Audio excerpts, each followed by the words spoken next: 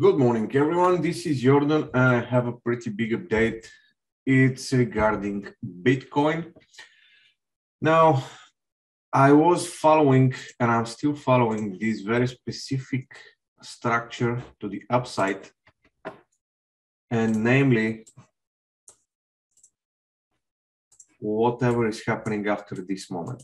Okay, this is supposed to be an impulsive structure and this impulsive structure, once completed, it's probably going to trigger the end of the bull run.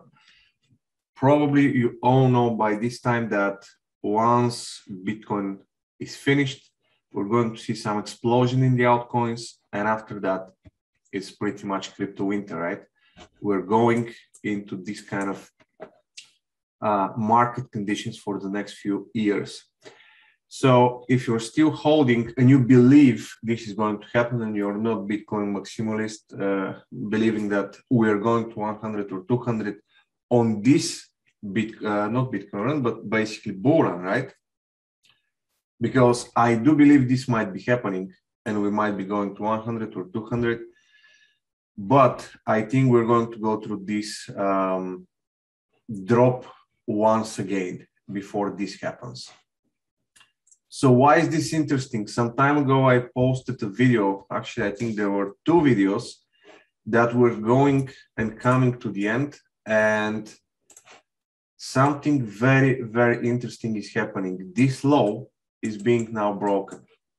My initial assumption, since on this broker, the actual law, if I zoom in here a bit, you will see that the law is right here. It's not here, which for me meant the count should be started like this. If the count is started like this, then what we see is that we have a third wave here, right? And this third wave is now going for divergence. Weekly chart is going for divergence. So let's go to weekly. And a false break, right? And this is a pretty massive rejection here.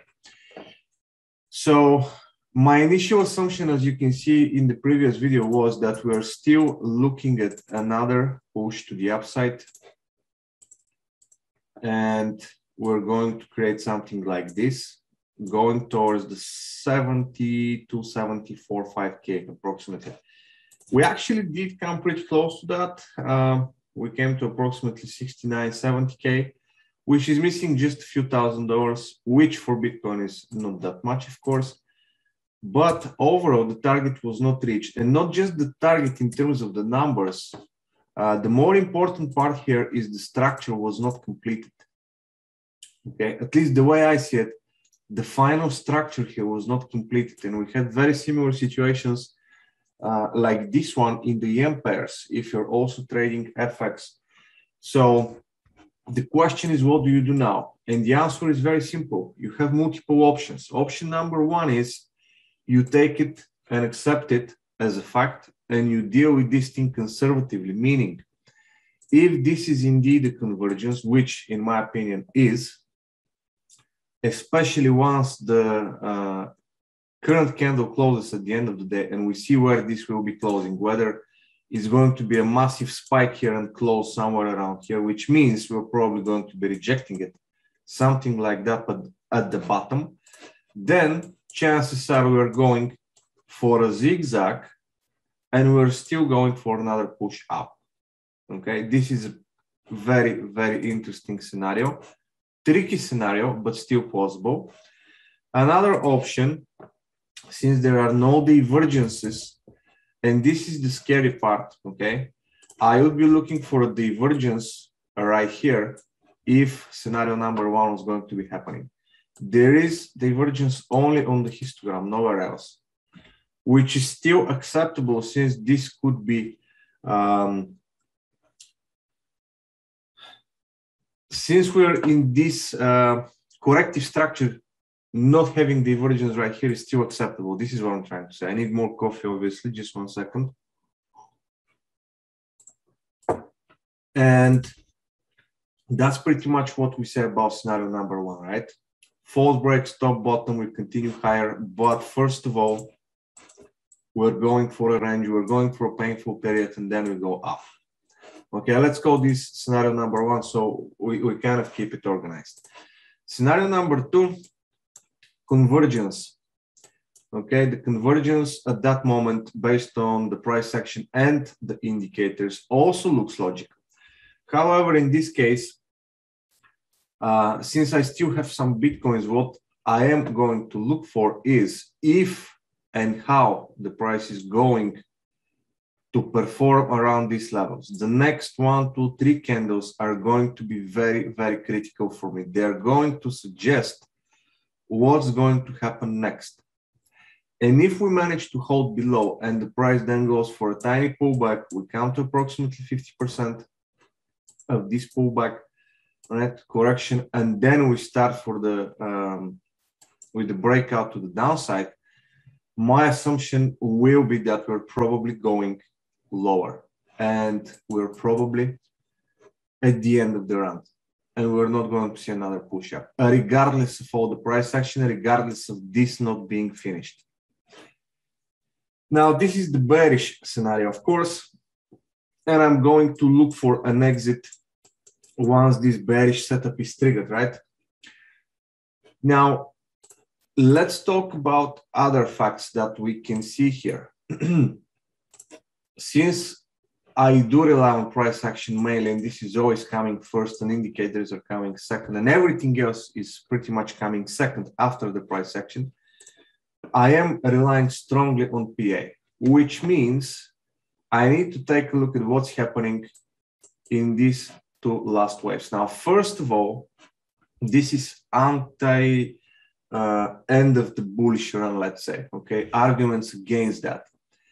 First of all, first argument is this structure is not completed. Second argument is the way this structure started developing to the downside is not impulsive, right? Or at least it doesn't bear all uh, all the factors an impulsive wave should be bearing. What do I mean? Well, look at this. We start with a double wave, and then we're continuing with double waves, and this kind of looks like zigzag here. Okay. Uh, when the impulse is coming, usually you want to see five waves, clear five wave structures. There are situations where we might be looking at double waves only, but I would prefer, and I do believe that this is much more important. Now, on the other hand, we know that the crypto is not always following precisely the rules of the Elliott waves. In this specific case, we only have one wave uh, consolidation and then it blew up, right? So it's not always 100%. Sometimes we see that wave number uh, wave number four is going and crossing wave number, uh, sorry, three, four, yeah, right here, right? And we have these kind of invalidations of the rules and this is why I have learned that when it comes to crypto, especially to BTC, studying the charts uh, purely from technical perspective, it's not always 100% reliable. I don't know if this is happening on purpose, someone is doing it on purpose, or this is just how this market works with the big volatility it involves. No clue, right? But I know the rules are not being followed as precisely as you can see that happening in commodities or FX, for example. Again, I don't know. Um, but I do understand that I should be looking at multiple factors and then I should be making my own conclusions. Usually, what I do is I have a list with pros and cons regarding bullishness and bearishness, and then I put check marks. Okay, and then I counted. And the more you have on either side, it means you're probably going to be moving in this specific direction. In other words, what we're looking at uh, for Bitcoin at the moment is signaling a lot of warning signs given that daily convergence which is happening but given again the nature of Bitcoin and the way this thing is moving with plenty of volatility, violating the rules of waves, etc., I'm not going to cut my exposure yet. Plus, uh, the logical thing that should be happening, even if this is going to be the end of it, is to see a pullback first. So why not wait and take another 5K, three, four, 5K, right, during this pullback and uh, close the positions right here. Okay. Emotions aside, we gotta be following rules. And yes, there are many times when Bitcoin doesn't give pullback and you're just waiting and pulling your hair and you're wondering why you didn't get in, blah, blah, blah, blah.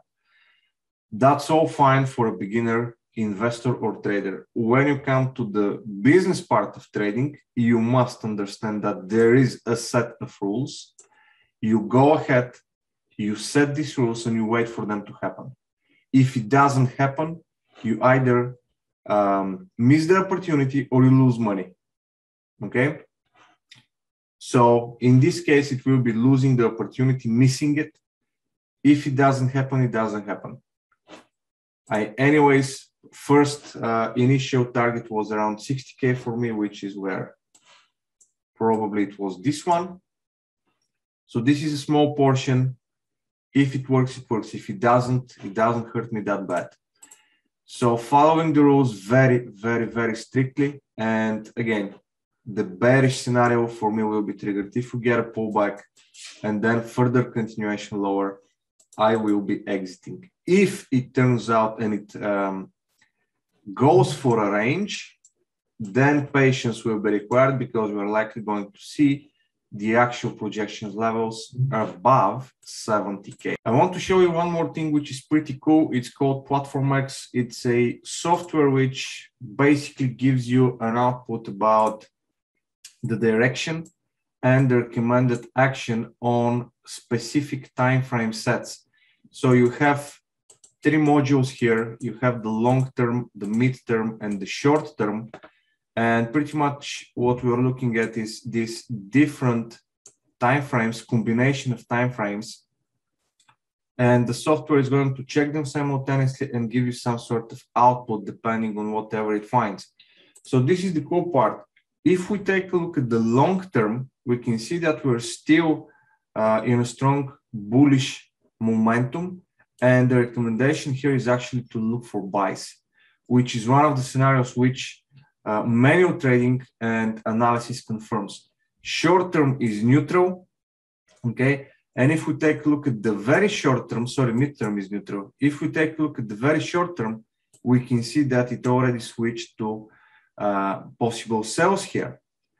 So it really depends on which case is going to take place. And exactly in such moments, I like to go ahead and reconfirm my analysis with the software. Even here, we can see the different cycles uh, on this specific market are in different states and pointing to different directions.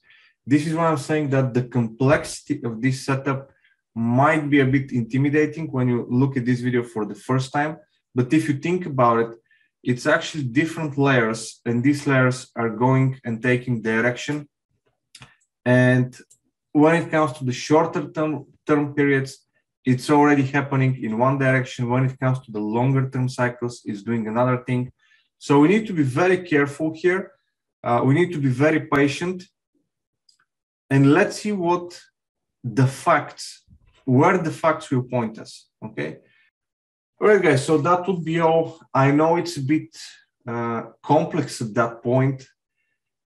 I understand that if you're not using my specific trading methods, this might look like gibberish. I really hope I managed to make it as clear as possible and distinguish the different scenarios that we might get here.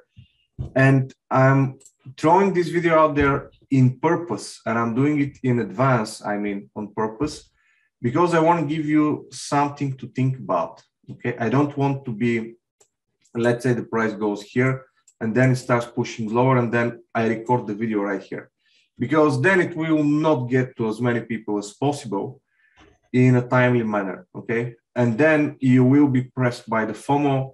Should I be closing? Should I be selling? Should I be holding? You know, it's good when you have enough time to understand the actual logic behind this analysis. If you have any questions, to ask them to discuss and basically to form some kind of idea based on probably other people that you're following out there, your own analysis, and make a general conclusion what might be happening. So I hope this is going to be useful for those of you trading Bitcoin or holding Bitcoin. Uh, again, if you have any questions, drop a comment and I'll get back to you as soon as possible. Have a good day.